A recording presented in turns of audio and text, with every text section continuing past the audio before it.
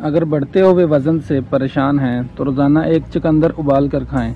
इसमें मौजूद अज्जा ना सिर्फ़ वज़न में कमी लाते हैं, बल्कि इसमें फौलादी बाल गिरने से रोकता है और चुकंदर के इस्तेमाल से रंगत भी निखर जाती है।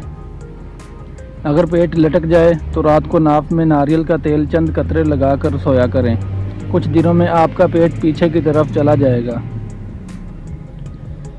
सुबह सवेरे नीम गर्म पानी से मोटापा जड़ से ख़त्म हो जाएगा।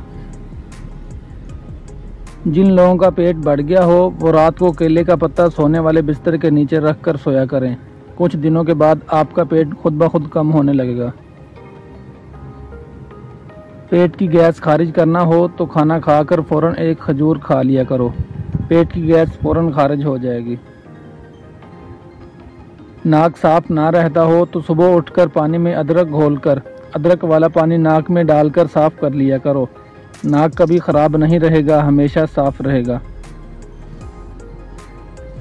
खाना खाने से कबल गुड़ खाने से आप हमेशा जवान रहोगे। शीशा चमकाने के लिए आलू के छिलके से साफ़ करें।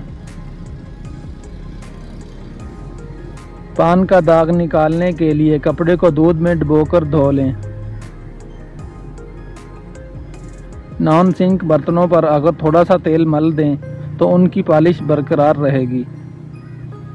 किसी चीज़ पर स्याही के दाग ख़त्म करने के लिए एक आलू छील कर इसके दो टुकड़े कर लें और उसे स्याही के दागों पर मला जाए, जिससे स्याही के हल्के दाग दूर हो जाएँगे। नहाने के बाद गीले जिसम पर थोड़े से सरसों के तेल में चंद कतरे पानी के मिक्स करके अच्छी तरह मल लें। नहाने के बाद तौलिया इस्तेमाल ना करें इन हर किस्म की एलर्जी दूर हो जाएगी।